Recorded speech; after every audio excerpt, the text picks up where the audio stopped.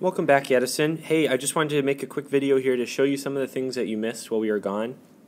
Uh, tonight, when you watch this, I'd like for you to do this before you do the review guide.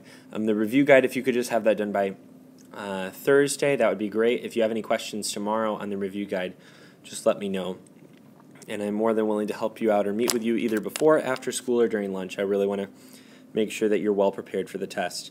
So, we're going to talk about a couple of concepts from last week our schedule from last week was we spent uh, Monday, Tuesday, and uh, Monday and Tuesday going over um, simplifying fractions. So we're going to go over that first. Um, then I'm going to talk about some of the review guide concepts that I want you to know for sure. And then lastly, we're going to talk about uh, what we talked about on Monday. So first off, simplifying fractions. So when we look at fractions, and you might already know some of this information, um, we'll just go over it one more time here if you see the fraction 9 twelfths, you're asking yourself, what factor can I pull out of both of these numbers, out of 9 and out of 12? Well, in this case, I know that 9 and 12 are both multiples of 3, so I'm going to divide both of these numbers by 3. 9 divided by 3 is 3, and 12 divided by 3 is 4.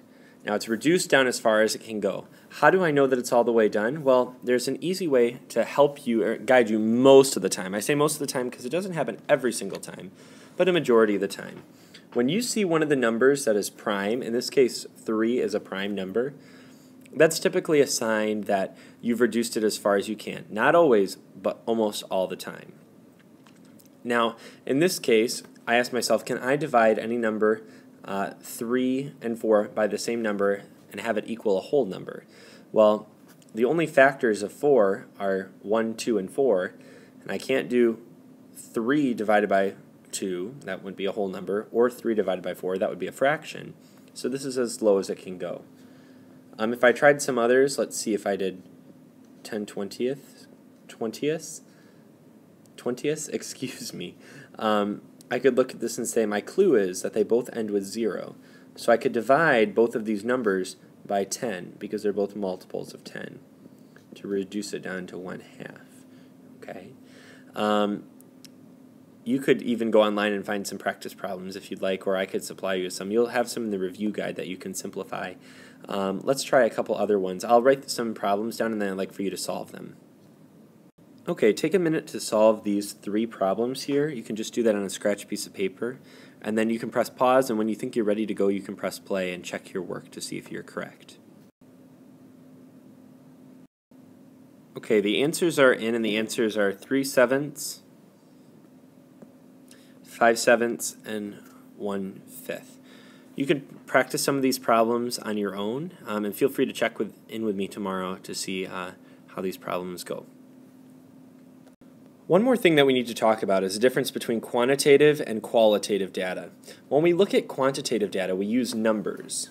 So I'm going to put the number sign here to describe our situation.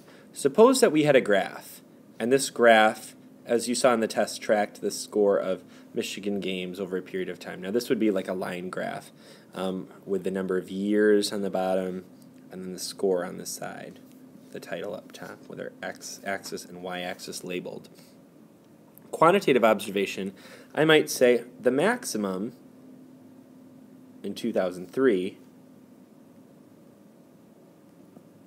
in 2003 was 45 points. Okay. Notice how I use numbers in my description. I might say the minimum was 5 in 2014. Okay. Um, I could make an observation about the range, the median, the mean. Those would all be quantitative observations. Now, qualitative, on the other hand, is a little bit different because it just uses words. I like to point out that L is language, the N is numbers. So it looks at this data. If we look at this same graph, it might say, over a period of time, the score decreases. Did I use any numbers? No, I did not. Did I talk about the general consensus about what the graph looks like? Yes. So just use words for qualitative for qualitative information. I don't know if a glitch happened there or not, but um, use words for quali- qualitative and you'll be all set. Lastly, um, yesterday we talked about uh, different information how we look at exponents. We talked about how if we look at a problem like 10 squared, this right here, the 10 is the base of our problem, and then the 2 is the exponent. Now what the exponent tells us, so when we have 10 squared, that means we multiply the base number however many times the exponent is. So we have 10 2, so 10 times 10. Please do not send me to my grave by saying 10 plus 10. This means that we multiply this number by itself this number of times. So if we look at if we look at 7 to the fifth, that's 7 times 7 times 7 times 7 times 7. Now on your calculator, you can see that it's, um, if you type in for 7 to the fifth,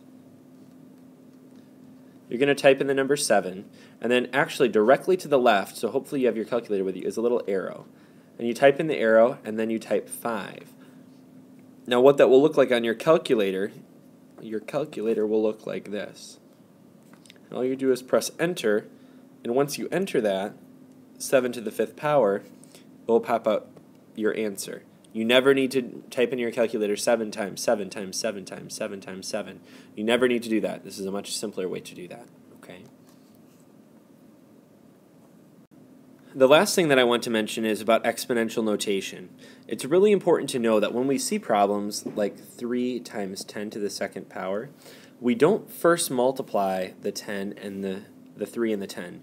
We save that until the end. The first part that we do is we multiply out the exponent, so 10 to the second power. So that would be 3 times 100, because 10 to the second power is 100. Now 3 times 100 is 300. Okay.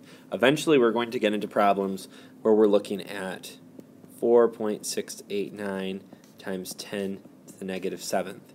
You're going to use scientific notation to uh, uncover what this might be, okay? And really this just shows the placeholders that will come beforehand, okay?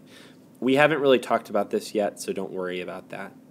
I hope this helps, and if you have any questions on either the review guide or any of this material, please feel free to stop by, and I'd love to help you and answer any questions that you have. Thanks so much, and welcome back from the DR.